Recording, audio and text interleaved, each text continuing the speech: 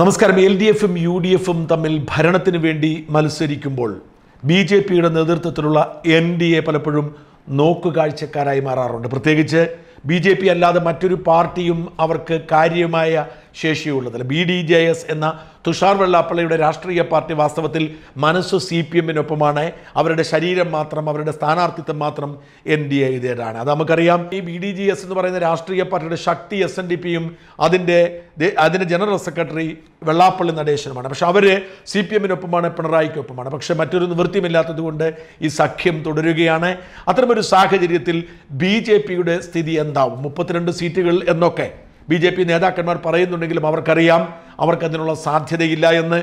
B J P നേതാക്കന്മാർ ഓരോ ദിവസവും കണക്കുകൾ കൂട്ടിയും കുറച്ചും ഹരിച്ചും അവരുടെ സാധ്യതകളെക്കുറിച്ച് വിലയിരുത്തിക്കൊണ്ടിരിക്കുന്നു. ഞാൻ ബി ജെ പിയിലെ ദേശീയ നേതൃത്വം അടക്കം ബി ജെ പിയിലെ സംസ്ഥാനത്തെ പ്രധാനപ്പെട്ട നേതാക്കളോടൊക്കെ സംസാരിക്കുമ്പോൾ അവരുടെ പ്രതീക്ഷ ഒമ്പത് എട്ട് സീറ്റുകളിലേക്ക് ചുരുങ്ങുന്നു. എന്നാൽ ഇവരെല്ലാം ഒരേ സ്വരത്തിൽ ആശങ്കപ്പെടുന്ന ഒന്ന്. ഇസ്ലാമിസ്റ്റുകൾ ഇവരുടെ വിജയം സമ്പൂർണമായി അട്ടിമറിക്കുമോ എന്നതാണ്. അത് വളരെ പ്രധാനപ്പെട്ടതാണ്. അതായത് കേരളത്തിൽ മുസ്ലിം വോട്ടിന് വലിയ പ്രാധാന്യമുണ്ട്. ഈ മുസ്ലിം വോട്ടിന്റെ ഏറ്റവും വലിയ അജണ്ട എന്ന് പറയുന്നത് ബി ജെ പിയുടെ പരാജയമാണ്. അതുകൊണ്ട് തന്നെ സ്വാഭാവികമായ തെരഞ്ഞെടുപ്പ് നടന്നാൽ അതായത് എൽ ഡി എഫും യു ഡി എഫും എൻ ഡി എയും എന്ന നിലയിലുള്ള അതിസ്വാഭാവികമായ തെരഞ്ഞെടുപ്പ് നടന്നാൽ കുറഞ്ഞത് ഏഴ് സീറ്റുകളിലെങ്കിലും ബി ജെ പി വിജയിക്കുന്ന ഒരു സാഹചര്യമുണ്ട്. ആ സാഹചര്യം അട്ടിമറിക്കുന്നതിന് വേണ്ടി ഇസ്ലാമിസ്റ്റുകളുടെ ഗൂഢാലോചന നടന്നിട്ടുണ്ടോ എന്നുള്ള ആശങ്ക അവരെ ഭയപ്പെടുത്തുന്നു. നമുക്കത് ഏറ്റവും ഉദാഹരണമായി കേൾക്കുന്നത് എസ് ഡി പി ഐയുടെ അവകാശവാദമാണ്. ഏറ്റവും ഒടുവിൽ എസ് ഡി പി ഐ പറയുന്നു നേമത്ത് കുമ്മനം രാജശേഖരന്റെ പരാജയം ഉറപ്പാക്കുന്നതിന് വേണ്ടി പതിനായിരം വോട്ടുകൾ ശിവൻകുട്ടിക്ക് സി പി എം സ്ഥാനാർത്ഥി ശിവൻകുട്ടിക്ക് കൊടുത്തു എന്ന് പറയുന്നു. അതുപോലെ തന്നെ എസ് ഡി പി ആയി മഞ്ചേശ്വരത്ത് യു ഡി എഫിനെ പിന്തുണച്ചു എന്ന് പറയുന്നു. എന്നാൽ ഈ ഈ പിന്തുണ പ്രഖ്യാപനം തന്നെ ഇത്തരത്തിലുള്ള ഒരു അട്ടിമറിയുടെ സൂചനയാണ്. നമുക്കറിയാം ഈ വല്ലാത്ത തരത്തിലുള്ള ഒരു അട്ടിമറി അതായത് ജനഹിതത്തെ അട്ടിമറിക്കുന്നതിന് വേണ്ടി ബോധപൂർവമായി ഒരു സമുദായം ഒരു ആ സമുദായവുമായി ബന്ധപ്പെട്ട് നിൽക്കുന്ന ഒരു രാഷ്ട്രീയ പാർട്ടി വോട്ടിങ്ങിൽ തിരിമറി നടത്തുന്നു എന്നുള്ള പരസ്യമായ പ്രഖ്യാപനമായി മാറുകയാണ്. എന്നാൽ ഇങ്ങനെയൊക്കെ ആണെങ്കിൽ കൂടി നേമത്ത് ഇതിനെ അതിജീവിക്കാൻ കഴിയുമെന്ന ആത്മവിശ്വാസം ബി ജെ പിക്ക് ഉള്ളതിന് കാരണം മുരളീധരൻ സ്ഥാനാർത്ഥിയായി വന്നത്. അതായത് മുരളീധരന് പകരം മറ്റൊരു സ്ഥാനാർത്ഥിയായിരുന്നു നേമത്ത് മത്സരിച്ചിരുന്നതെങ്കിൽ തീർച്ചയായും ഇസ്ലാമിക വോട്ടുകൾ ഏകകണ്ഠമായി ശിവൻകുട്ടിക്ക് പോവുകയും കുമ്മനത്തെ തോൽപ്പിക്കാൻ കഴിയുകയും ചെയ്യുന്ന ഒരു സാഹചര്യമുണ്ടായിരുന്നു. എന്നാൽ ഇവിടെ എസ് ഡി പി ഐ ഇങ്ങനെ അവകാശപ്പെടുമ്പോഴും മുസ്ലിം വോട്ടുകൾ അല്ലെങ്കിൽ ന്യൂനപക്ഷ വോട്ടുകൾ രണ്ടായി വേർതിരിക്കപ്പെട്ടിരിക്കുന്നു എന്ന സൂചനയുണ്ട്. ഒപ്പം ഹിന്ദു വോട്ടുകൾ കൂടി നേടാൻ കഴിയും എന്നുള്ള ഒരു വിശ്വാസമാണ് മുരളീധരനുള്ളത്. പക്ഷേ ഈ ഒരു സാഹചര്യത്തിൽ അതായത് ന്യൂനപക്ഷ വോട്ടുകൾ നേമത്ത് ഈ മുരളീധരനും ശിവൻകുട്ടിക്കുമായി വേർതിരിക്കപ്പെടുമ്പോൾ ആ ഗ്യാപ്പിൽ കടന്ന് കയറാമെന്ന ആത്മവിശ്വാസത്തിലാണ് ഇപ്പോഴും കുമ്മനം രാജശേഖരൻ. കുമ്മനവുമായി സംസാരിക്കുമ്പോൾ അദ്ദേഹം തികഞ്ഞ ആത്മവിശ്വാസത്തിലാണ്. പക്ഷേ ഇത്തരത്തിലൊരു ഗൂഢാലോചന അട്ടിമറി നടന്നിട്ടുണ്ടെങ്കിൽ വിജയത്തിന്റെ കാര്യത്തിൽ ഉറപ്പൊന്നുമില്ല. അതിനേക്കാൾ രസകരമായ വസ്തുത മഞ്ചേശ്വരത്താണ്. മഞ്ചേശ്വരത്ത് കഴിഞ്ഞ തവണ കേവലം എൺപത്തിയൊൻപത് വോട്ടുകൾക്കാണ് സുരേന്ദ്രൻ മത്സരിച്ചു പരാജയപ്പെട്ടത്. അന്നത്തെ സുരേന്ദ്രൻ വെറും ഒരു സാധാരണക്കാരനായ യുവമോർച്ച നേതാവ് മാത്രമായിരുന്നു. എന്നാൽ ഇന്നത്തെ സുരേന്ദ്രൻ പല മടങ്ങ് മൂല്യം വർദ്ധിച്ച നേതാവാണ്. നമുക്കറിയാം സുരേന്ദ്രൻ ഇപ്പോൾ ബി ജെ പിയുടെ സംസ്ഥാന പ്രസിഡന്റാണ്. അതാണ് ഏറ്റവും പ്രധാനപ്പെട്ട സുരേന്ദ്രന്റെ വർധന. അതിനപ്പുറത്തേക്ക് സുരേന്ദ്രൻ ശബരിമല വിഷയത്തിലൂടെ ഭക്തരായ ഹിന്ദു സ്ത്രീകളുടെ മുഴുവൻ ആരാധ്യ കഥാപാത്രമാണ്. അങ്ങനെ വളരെയേറെ അതായത് പല മടങ്ങ് വർദ്ധിച്ചിരിക്കുന്ന മൂല്യം സുരേന്ദ്രന്റെ വിജയസാധ്യത വർദ്ധിപ്പിക്കുന്നു. അതാണ് ഇപ്പോൾ തെരഞ്ഞെടുപ്പ് കഴിഞ്ഞപ്പോൾ പരസ്പരം ചെളിവാരിയെറിയൽ തുടങ്ങിയിരിക്കുന്നു.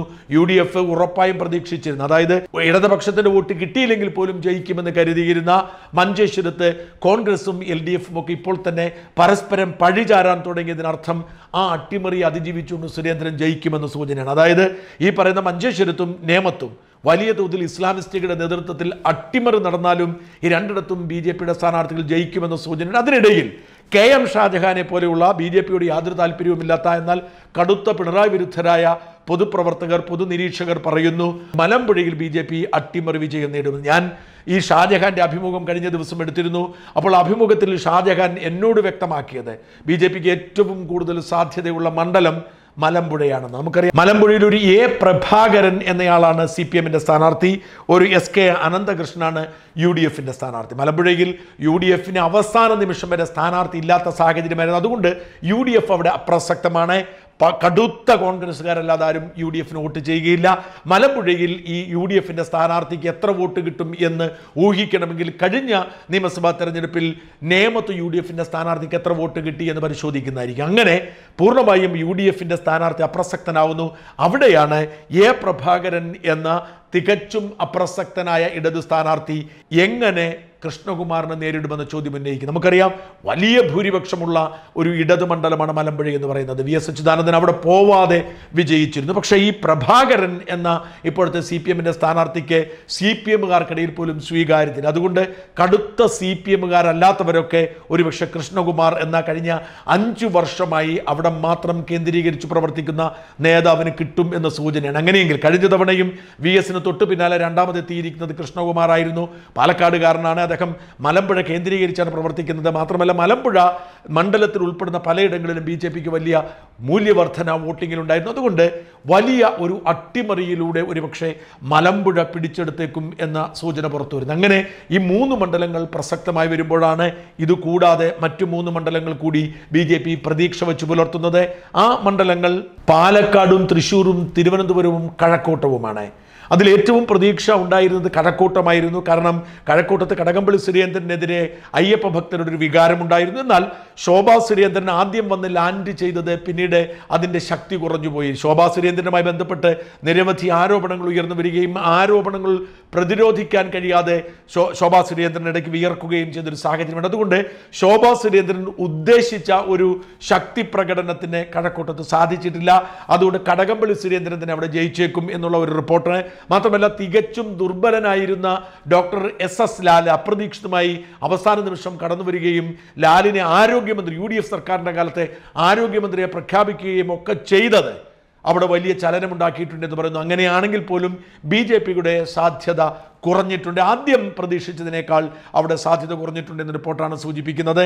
എന്നാൽ തൃശ്ശൂര് തിരുവനന്തപുരം പാലക്കാട് എന്നീ മൂന്ന് മണ്ഡലങ്ങളിൽ അട്ടിമറി നടന്നാൽ പോലും അത്ഭുതപ്പെടേണ്ടതില്ല. അതെ അതായത് ഇസ്ലാമിസ്റ്റ് രാഷ്ട്രീയക്കാർ ഇവിടങ്ങളിൽ എല്ലാം വലിയ ഗൂഢാലോചന നടത്തുന്നുണ്ട്. അവർ വിജയസാധ്യതയുള്ള സ്ഥാനാർത്ഥി ആരെന്ന് കണ്ടെത്തി അവരുടേതായ ഇടപെടൽ നടത്തി ആ വിജയസാധ്യതയുള്ള പ്രതിപക്ഷ സ്ഥാനാർത്ഥിക്ക് വോട്ട് കൊടുക്കുന്ന ഒരു സാഹചര്യമുണ്ട്. ഇത് ഇപ്പം നിയമത്താണെങ്കിൽ അവർക്ക് ആശയക്കുഴപ്പമാണ്.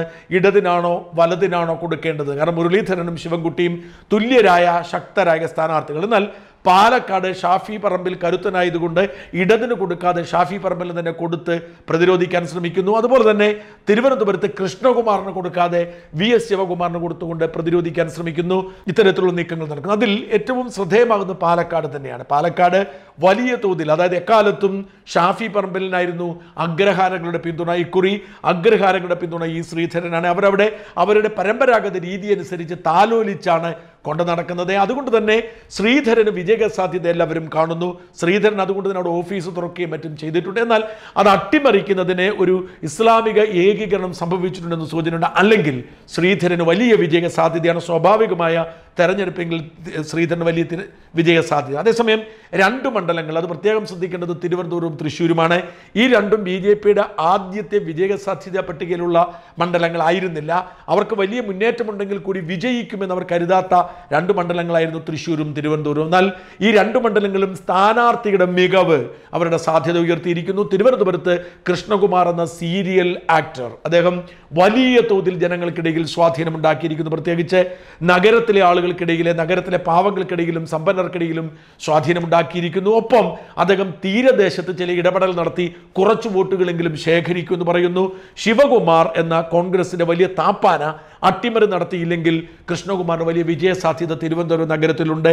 ഷാജഹാനെ പോലെയുള്ളവർ പോലും പറയുന്നു ഒരുപക്ഷെ അട്ടിമറിക്കാനുള്ള സാധ്യതയുണ്ട് എന്ന് പറയുന്നു. അതേപോലെ തന്നെ തൃശ്ശൂരിലെ വലിയ ഒരു ജനപിന്തുണ സുരേഷ് ഗോപിക്ക് ലഭിച്ചിരിക്കുന്നു. അദ്ദേഹം ലോക്സഭാ തെരഞ്ഞെടുപ്പിന് തൊട്ടു പിന്നാലെ നിയമസഭയിൽ മത്സരിക്കുന്നതോടുകൂടി തൃശ്ശൂരിന്റെ സാധാരണക്കാർക്കിടയിൽ ഒരു സ്വാധീനമുണ്ട്. മാത്രമല്ല സുനിൽ കുമാറിന് പകരം അവിടെ എത്തിയിരിക്കുന്ന ഇടത് സ്ഥാനാർത്ഥി സ്വീകാര്യനല്ല. അത്തരത്തിലൊരു സാഹചര്യത്തിൽ പത്മജ വേണുഗോപാൽ സുരേഷ് ഗോപിയും തമ്മിലുള്ള മത്സരമായി മാറുന്നു. അവിടെയും ഏതെങ്കിലും തരത്തിലുള്ള അപ്രതീക്ഷിതമായ അട്ടിമറി ഉണ്ടായാൽ അത്ഭുതപ്പെടേണ്ടതില്ല.